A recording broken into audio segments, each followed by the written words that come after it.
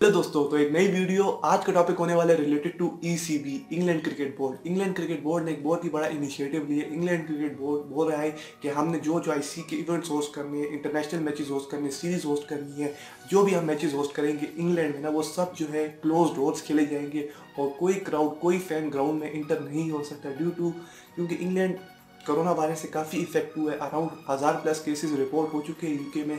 तो इंग्लैंड और Wales cricket board नहीं चाहता कि कोई प्लेयर या कोई फॉरेन प्लेयर इस कोरोना वायरस से इफ़ेक्ट हो। और इंग्लैंड क्रिकेट बोर्ड ने ये भी बोला है कि इन फ्यूचर जब ये वायरस रोक जाएगा और जब इसकी वैक्सीनेशन आ जाएगी, तब तब भी एक साल तक इंग्लैंड में जब भी कोई इंटरनेशनल मैच होगा तो क्लोज डोर्स खेला जाएगा। वो सही हाई मॉनिटरिंग में खेला जाएगा कि जिस वेन्यू पर खेला जाए तो उसमें स्पेक्टेटर उस फ़ैन ना आए तो ये बहुत ही बड़ा तो बोलते ना कि बहुत बड़ा फैसला लिया इंग्लैंड में। सब, आप सबको पता है कि इंग्लैंड, अभी वो, इंग्लैंड वो नेशन है जिसने पहले टी ट्वेंटी स्टार्ट किया था। इंग्लैंड वो नेशन है जो हंड्रेड बॉल टूर्नामेंट स्टार्ट कर रहा है।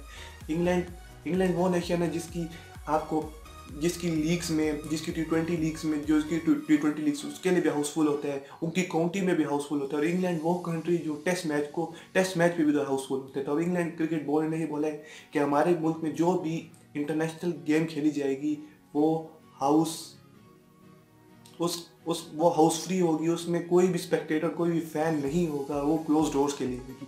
तो इंग्लैंड बोर्ड के लिए और ये वेल्स क्रिकेट बोर्ड के लिए बहुत ही अहम फैसला था क्योंकि इनको पता है कि हमें कितना नुकसान होगा, लेकिन वो लोगों की सेफ्टी प्लेयर्स की सेफ्टी और ब्रॉडकास्टर्स और जितने भी क्यूरेटे और टेक्निकल स्टाफ उनके लिए भी सोच रहे क्योंकि ये स्प्रेड जो है ना, बंदा बंदा टू बंदा लगता है। तो इंग्लैंड बोर्ड का काफ़ी अच्छा फैसला है। तो अब इंग्लैंड में इंग्लैंड में अभी जब भी इंटरनेशनल गेम खेलेगी तो उसमें क्राउड नहीं होगा और वो विदाउट क्राउड खेली जाएगी। जैसे पाकिस्तान में खेली गई और पाकिस्तान में पी एस एल खेला गया इंडिया की भी एक मैच खेला गया और साथ साथ ऑस्ट्रेलिया में भी मैच खेला गया। लेकिन इंग्लैंड ने काफ़ी टाइम के लिए ये स्टैंप लगा दिए कि हमने इंटरनेशनल मैचेस होस्ट करने हैं और और क्राउड के बगैर होस्ट करने क्योंकि इंग्लैंड ने बड़े बड़े मैचेस होस्ट करने और इंग्लैंड ने 2021 का वो भी होस्ट करना है। आई चेस टेस्ट चैम्पियनशिप का फाइनल जो लॉर्ड्स में खेला जाएगा लंदन में। तो इंग्लैंड का काफ़ी अच्छा फैसला कि क्राउड नहीं होगा। जो भी इंटरनेशनल मैच इंग्लैंड लगेगा। तो आज की वीडियो में इतना ही। प्लीज़ मेरी वीडियो को लाइक करें और मुझे इस तरह सपोर्ट करते रहे कि मैं आप लोग के लिए रोज़ क्रिकेट ओपिनियन क्रिकेट न्यूज़ या कुछ ना कुछ आगे चैनल पर लाते रहे तो मिलता हूँ अगली वीडियो में। टेक केयर हाफिज़।